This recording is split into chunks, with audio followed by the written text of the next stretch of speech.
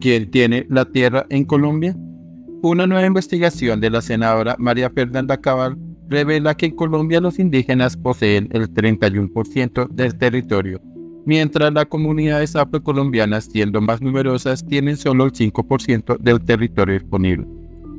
Bogotá, 19 de mayo de 2024. Una nueva investigación emitida por la senadora María Fernanda Cabal da cuenta de cómo está distribuida la tierra en nuestro país.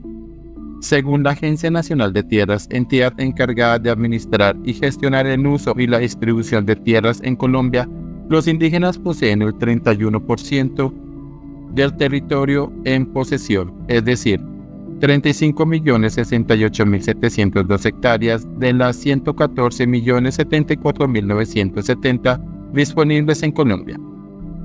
Según el DANE, la población indígena en resguardos legalmente constituidos es de 1.650.307 personas, lo que equivale a aproximadamente 21 hectáreas por persona.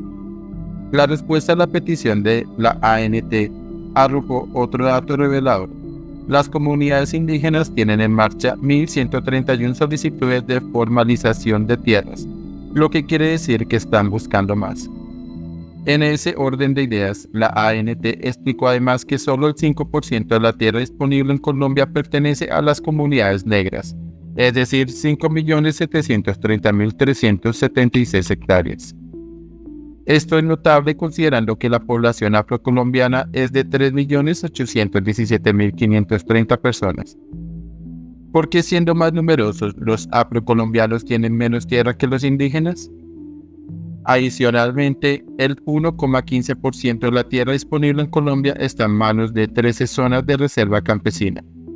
Estas zonas se han convertido en lugares donde la fuerza pública no puede ingresar, lo cual es preocupante.